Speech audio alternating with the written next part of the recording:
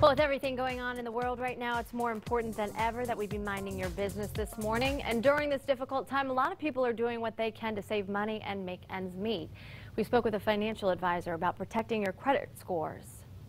In order to maintain or even improve your credit score, especially during a financial crisis, you need to maintain a good payment history.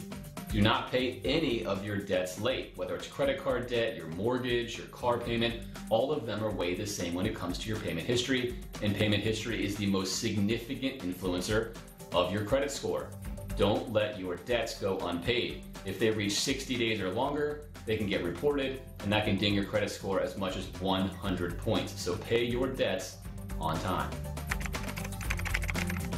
Wait now is not the time to make a purchase of a home, a car, or any other large asset. The reason for this is quite simple. It's far more likely that home prices, car prices, etc. are going to fall in the next six months to a year rather than rise.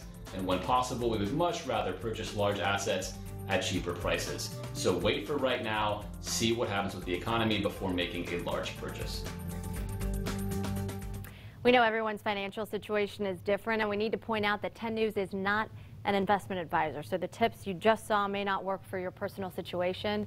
We recommend you seek professional advice before making any major adjustments to your own finances.